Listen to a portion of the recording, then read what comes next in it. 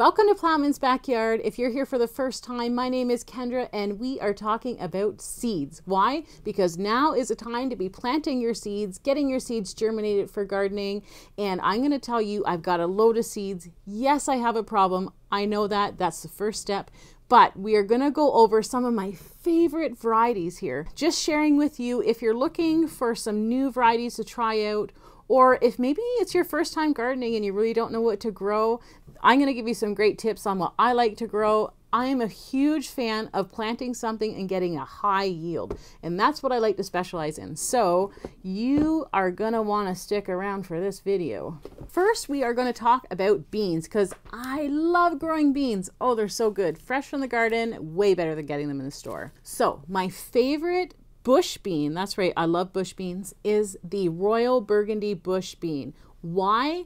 One, because it's purple, my favorite color. Two, it's because the yield from these beans, like they, you get so many beans from this plant. I've grown yellow beans, green beans, pole beans. I find that I get way more beans on a plant from the Royal Burgundy beans than any other beans I've tried. So Royal Burgundy is a way to go. You might think, I don't want a purple bean, but when you go to cook this bean, it turns green. So it's technically a green bean, just looks purple. So these Royal Burgundy bush beans, they are great for eating right off the vine, um, raw, cooked, steamed. You can even can them. I've canned lots of these. They are fantastic, even frozen. If you're looking for more of a dried bean for the winter time in soups, I do recommend this one. It's called Macuzaletto. No, I didn't say that right. Macuzaletto. Something like that.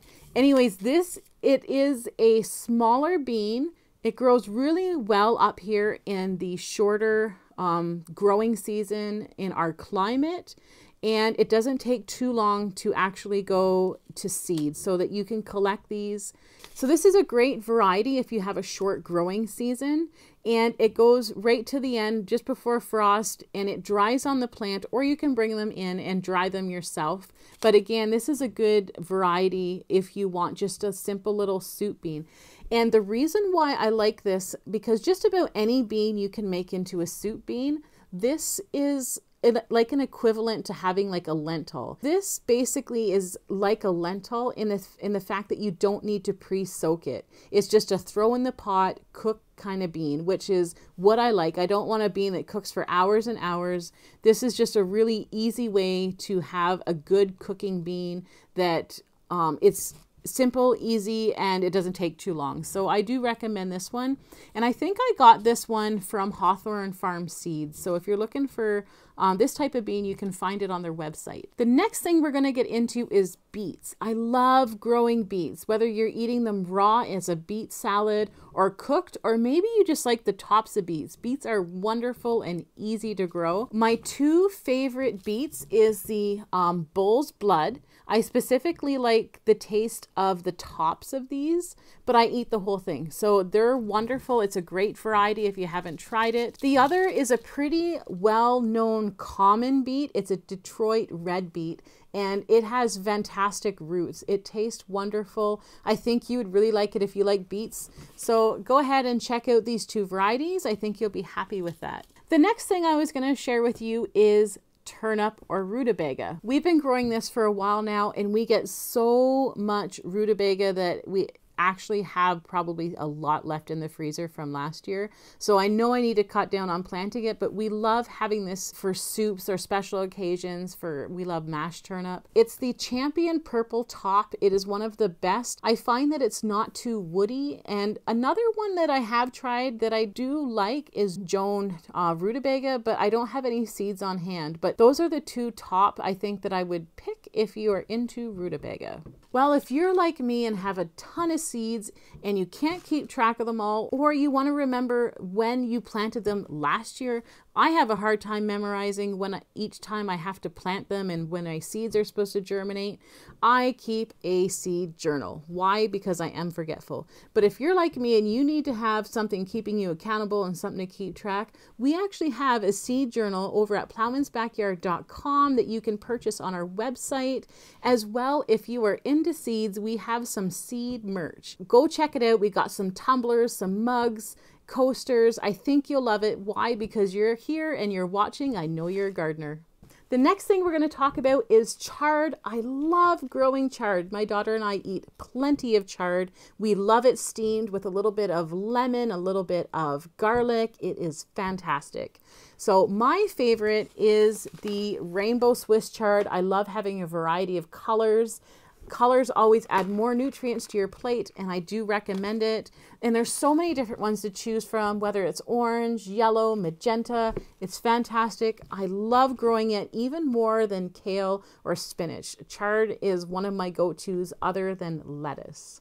If you're into kale, one of my favorite kales is a Lacinato uh, dinosaur kale. I love it, as well as the red Russian kale are my two favorite kale. Why? Because they're not super curly, and when you're watering or if it rains, a lot of the dirt isn't splashing up and getting stuck in those little crevices that sometimes kale tends to hold on to uh, the soil and sand. These are so easy to wash and clean, and they taste great. So I recommend the dinosaur kale as well as a red Russian. Another favorite of mine is growing celery. Only one that I found that I like so far is the Utah tall celery. MI Gardener sells it. It's great. You get plenty of seeds. The one thing about celery is you want to start it early and you want to make sure you, you water it a lot because it likes to have really moist soil in order to grow, but it's well worth it. You get a lot of celery for such a small little bit of seed. Hey, if you're loving this as much as I am, then you need to be subscribed. So click that sub button because we want you to stick around. We love having you. The next thing I'm going to share with you is my favorite cabbages. One of my favorite green cabbages is Copenhagen as well as April Green. I find that there's not a lot of cracking with these cabbages and they last well into frost and they are good at storing. So these are some really nice large size cabbages. I really like growing them. But my next favorite is the Red Express cabbage. It is fantastic for making coleslaw and things like that. The one other thing about the Copenhagen, it makes great sauerkraut. So if you like that, that's a good thing to grow. But I love the Red Express cabbage for raw salads. It's really nice. The color is fantastic and it's got a good size head on them. So I recommend growing cabbage. It's really easy and it stays for a long time if you put them in the fridge too. It's great. Next thing that we are going to talk about is tomatoes. There's so many tomatoes to go over. I can't share all of my favorite, but I'll share what I have that is my favorite. First thing is, if you're looking for a red cherry tomato, this is a sweet million cherry tomato and you get millions. I mean, millions of to sweet tomatoes on this cherry tomato plant. So one thing I really like about the Sweet Million tomatoes is you get a high yield of tomatoes on this sweet little tomato plant. It grows so tall and vigorously that you will not be left without cherry tomatoes. So these are great for putting in the salads. If I had to pick an ultimate favorite cherry tomato, it would be the Sun Gold cherry tomato. By far the best cherry tomato I've ever had. It's an orange, yellowish um, cherry tomato, really small. It is not pear shaped, but it is very vigorous. I think we had one growing to be about six feet tall, maybe five feet tall, and a really high producer. The, the taste of this compared to the Sweet 1 Million, it is much sweeter and it's got its own little zing. But I'm telling you, there's only a few places that I found that sell this. And this came from West Coast Seeds. And I highly recommend getting this one. I won't be found without it. It's probably my favorite one I think I have. The next tomato that is probably one of my favorite for slicing, putting on burgers and sandwiches, has to be the black from Tula tomato. It's kind of got like a really dark purple black color on the top part like kind of like a blush on it it doesn't really turn red but man the taste of this is phenomenal one of my favorites that i grow again now if i have to pick a roma tomato if you're looking for a roma there's plenty of roma tomatoes that are great like san marzano just your typical average Roma tomatoes, but if I had to pick one, it would be an Oxheart style Roma tomato. Why? It's got it's got a bit more plump, a little less juice. It's really thick and very fleshy. It's a really good variety. I'm really happy with it and I'll continue to grow these again. Not last on my list, but this is actually the giant crimson that came from M.I. Gardener. Last year it was one of the first years I think that they that he had this out. Paid five bucks for like, I don't know, three or four seeds. Anyways, it was fantastic. It grew really well. We had a not a great growing season, so they didn't um, ripen on the vine, but they did ripen when we brought them in the house probably one of the largest tomatoes that I've grown that is um, a red variety tomato. So again, this is a really good one if you're looking for a good big beefsteak style tomato, this would be it. The next thing I'm going to talk about on my list of favorites is lettuce. This is my all-time favorite lettuce. There is not, if I had just this lettuce only to grow, this would be it. It is called devil's ear or ear of the devils, depending on where you find it. We actually did find a company that has it this year. I'm happy to say that they should be on their way soon. I've been without this lettuce for the past two years and I have missed it tremendously. This thing grows huge, and I mean huge. It's not necessarily a head of lettuce, it's more like a loose leaf, but it is phenomenal. It's beautiful. The taste of this it's got like a nutty flavor, it's got a crunch, and it's fantastic. Absolutely one of my favorite things to grow out of the whole thing here. It's got to be the devil's ear lettuce. Another one of my favorite lettuces is the butter crunches, and this one is called the pirate butter crunch lettuce. You can see it's got some different coloring on the tops of the leaves. It's got a crunch to it. It's really good lettuce. I love adding it to salads. I love having a bit of color in my salads, so I love growing this one. Another one is magenta. Again, it's got some nice red coloring on the leaves. It's more of like a, a loose leaf lettuce. It's a bit of a softer lettuce, not necessarily the crunchiest, but I do like having a little bit of this in my salad as well. And then we've got the prize head lettuce, and it is more of a romaine style lettuce. It's really good. It's got a good crunch and it grows really well. So those are my top four lettuces that I grow. As you can see, I've got a lot more, but it would take forever to go through it all. So one of my all-time favorite summer squashes is this here yellow squash. It's, it's basically like a zucchini. It's yellow. I love making soups out of this. It is a really nice thing to grow. It has high yields and the taste of it is much different from growing like a black beauty or a gray zucchini. Uh, I do recommend growing this, but I also recommend growing the gray zucchini. It's not as large necessarily as a black beauty, but I love growing this for a variety of things, whether you're making relishes. We like to make zucchini burgers, different things like that. This is a really good one to grow. It's probably one of my favorites. And I probably get the most comments on this gray zucchini when I'm giving it away um, to neighbors and friends. They love the coloration of this. It's a really nice one to grow if you're thinking about growing zucchinis. Now, if you're looking for a nice cucumber, I have Ashley cucumber. It is really great. It's kind of more like a field cucumber. It's great. You can pick them when they're small so you can make pickles out of them or just grow them out large. But it's a really nice variety of a cucumber. Probably one of my favorite cucumbers to grow is just Shintokiwa cucumber.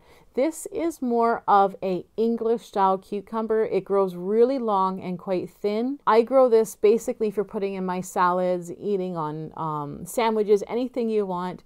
This is a really great variety for just eating fresh for anyone who loves an English style cucumber. Probably the best one I've ever grown. Um, that again, Shintokiwa, um, I get it at Hawthorn Seed Farms. Another great company to go to. I don't think that you'll be disappointed in this cucumber variety. If you're looking for a good watermelon, this is a smaller watermelon. It's a sugar baby. Basically, it is what it says. It is so sweet. If you can grow any watermelon, basically we need a short season. We have to start this one quite early and it needs to be well watered, but it's really sweet and it's got seeds in it. It's a nice variety of a watermelon to grow. Well, we're into winter squashes now. Again, another favorite here.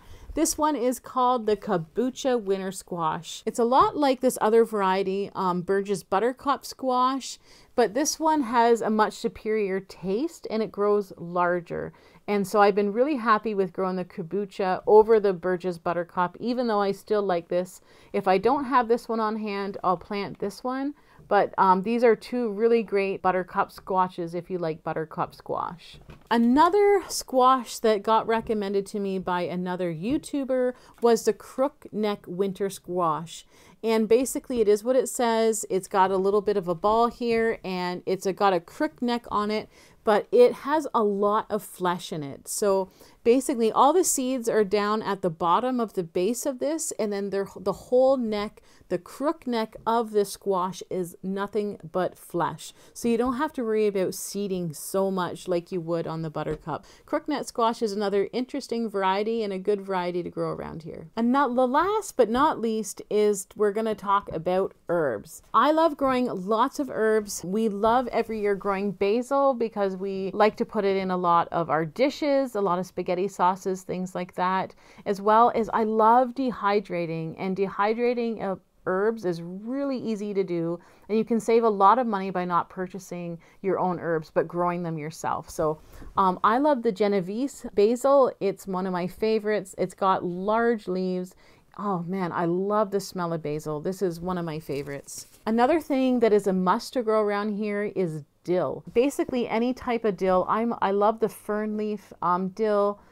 Basically, you want to have the dill seeds for your pickles and things like that. And the other part of the dill is really good to add to like potato salads and things like that. So growing dill is another must. I have to grow it every year and it will reseed on its own and grow back every year as well. It just moves around wherever the wind blows it, but dill's another great option to grow. One of my favorite par parsleys is the flat leaf parsley. I think it's an Italian flat leaf. I love it. it it's not going to have like the dirt or the sand stuck in its little curly leaves because it's a flat leaf and it makes it really easy to dehydrate these. I do grow parsley every year and we always have more than enough parsley dehydrated in our cupboards that I never have to buy parsley. So growing herbs is really, really important if you use a lot of herbs. Another one that I kind of like is this large leaf sorrel. It's got a little bit of a bit like a lemon kind of taste.